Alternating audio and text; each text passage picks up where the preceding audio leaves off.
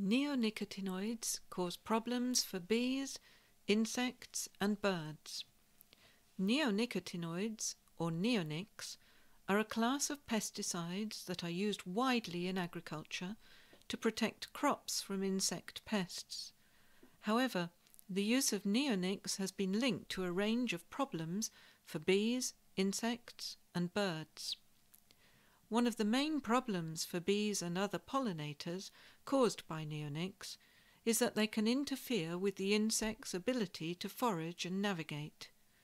Studies have shown that exposure to neonics can impair the cognitive abilities of bees, making it more difficult for them to find food sources and navigate back to their hives. This can lead to reduced foraging and reproductive success, and ultimately declines in the populations of pollinators. Without pollinators, many plants are unable to reproduce and produce fruit, which can lead to a significant reduction in crop yields for farmers and also a decline in overall biodiversity.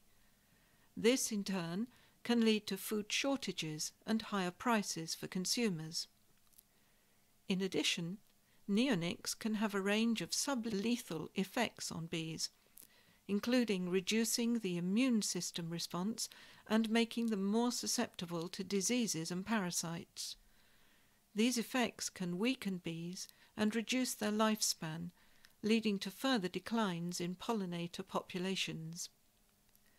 Neonics can also harm other insects, such as butterflies and moths, which are important for pollination and other ecosystem functions. Furthermore, neonics can harm birds by not only reducing their food supply, but according to studies carried out in the United States, these pesticide bee killers also kill birds. Marketed in France since 1991, but finally totally banned on 23 January 2023, neonics, in particular imidacloprid, are used to coat seeds for various crops wheat, beet, corn, and sunflower. As reported by the French Bird Protection League, LPO, this substance is highly toxic. Apparently, just six seeds coated with imidacloprid are enough to kill a grey partridge, a species present in the north of France. Indirectly, this neonicotinoid causes the disappearance of pollinating insects, terrestrial and aquatic invertebrates, and bats and birds.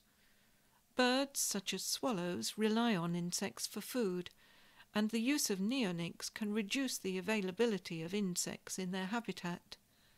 This in turn can lead to reduced reproductive successes and declines in bird populations. Neonics can also have a range of other impacts on the environment. For example, they can contaminate soil and water sources, harming other non-target organisms. Neonics have been found in streams, rivers, and even in drinking water, which can have implications for human health as well. In conclusion, the use of neonics can have a range of negative impacts on bees, insects, and birds, as well as the environment as a whole.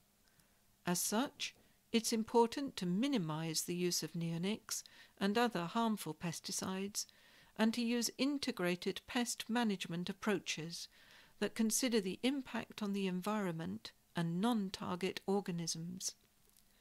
Protecting pollinators and other beneficial insects is crucial for maintaining the health of ecosystems and ensuring the sustainability of agriculture and biodiversity for the planet.